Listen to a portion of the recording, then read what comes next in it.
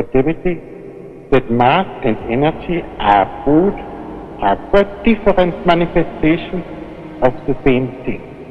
A somewhat unfamiliar conception for the average mind. Furthermore, the equation E is equal mc squared, in which energy is third equal to mass multiplied with the square of the velocity of light. What is quantum physics? Quantum physics is a branch of physics that deals with the behavior of very small things, such as atoms, electrons, and photons. It is based on the principles of quantum mechanics, which were developed in the early 20th century in order to explain the strange behavior of these tiny objects. One of the most important aspects of quantum physics is the wave-particle duality of quantum objects. This means that, under certain circumstances, quantum objects can exhibit both wave-like and particle-like behaviors. For example, light can behave like a wave, but when it is absorbed by an atom, it can also behave like a particle called the photon. This duality is difficult to understand using our classical intuition, which is more familiar to understanding the behavior of larger objects. Heisenberg's uncertainty principle is another important concept of quantum physics. It states that there is a fundamental uncertainty in the precision, position, and momentum of quantum objects. This means that it is possible to know both of these quantities with perfect accuracy at the same time. This uncertainty arises because the act of measuring a quantum object can disrupt it in a way that makes it difficult to determine its precise state.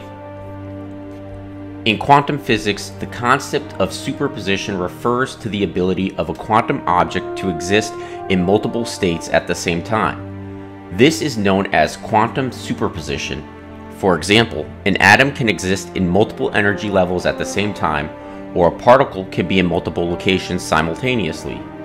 This concept is difficult to understand using classical physics, which states that objects can only exist in a single state at any given time. Quantum entanglement is a phenomenon in which two quantum objects become linked in such a way that the state of one object can affect the state of the other, even if they are separated by large distances. This has been demonstrated in experiments where the state of one particle was changed and the other particle was found to be in a correlated state, even though they were separated by large distances. The role of observation in quantum physics is a controversial topic. Some interpretations of quantum mechanics suggest that the act of observing a quantum object can affect its behavior, while others argue that observation has no effect on the object itself. This is known as the observer's paradox.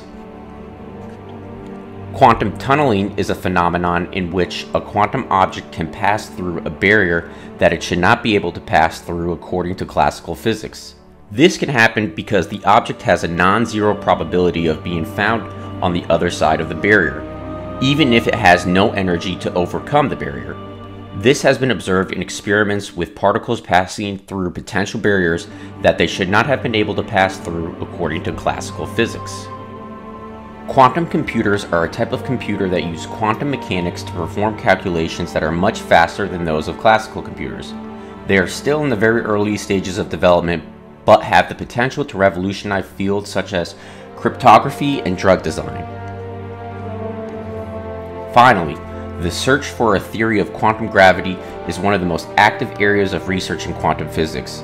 This is because the current theories of quantum mechanics and gravity are incompatible, and finding a way to reconcile them would be a major breakthrough in our understanding of the universe. In summary, quantum physics is a fascinating and complex field that deals with the behavior of very small objects. It has led to many important discoveries and has the potential to revolutionize our understanding of the universe.